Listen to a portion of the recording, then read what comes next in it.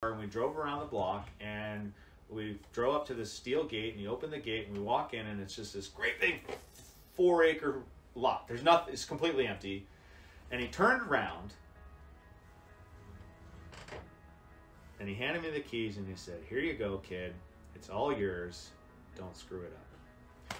Uh, the story of Everyone Village really started at Westside Christian Church, which is not too far from here as a crow flies. And as I graduated from Bushnell University in 2019 with a pastoral degree, I helped that church to uh, come to a close and help it sell its building. And in that process, on the intersection in front of the church, I noticed that there was the same small group of folks um, panhandling and, and clearly experiencing homelessness. And one day I just went over and said hi and got to know their names and then checked in once in a while. And we slowly over time became friends.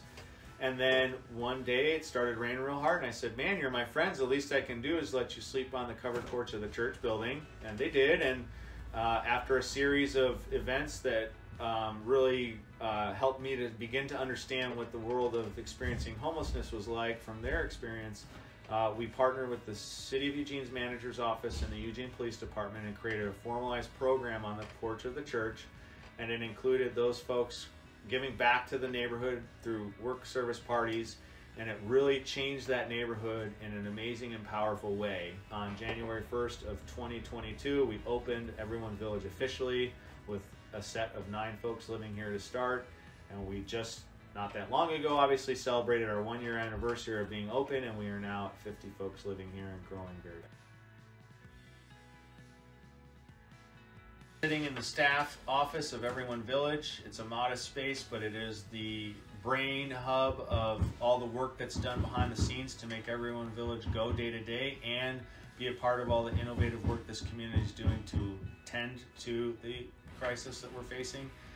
Um, one of our brightest and most amazing spaces is the Welcome Center. This is the living room, hub, center point of the relational model that we use at Everyone Village.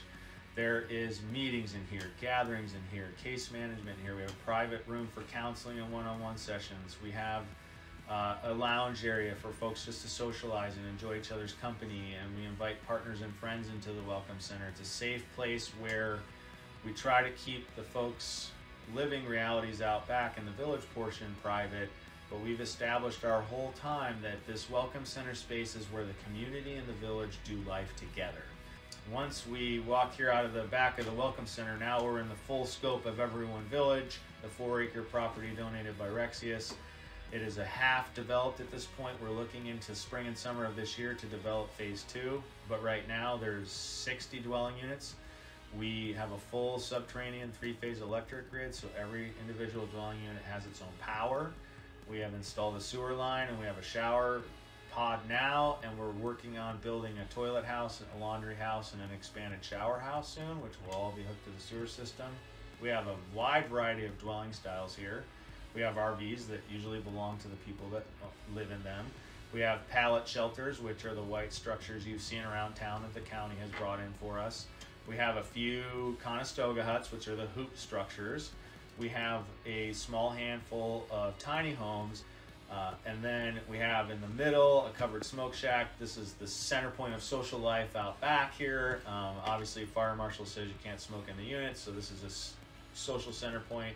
So for someone who is experiencing homelessness in our community and would like to be at a place like Everyone Village, the process is really clear and simple. We have a website, everyonevillage.org, and right at the top there's a big button, apply.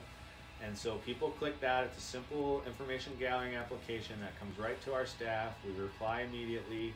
We've received your application. You're now on our wait list.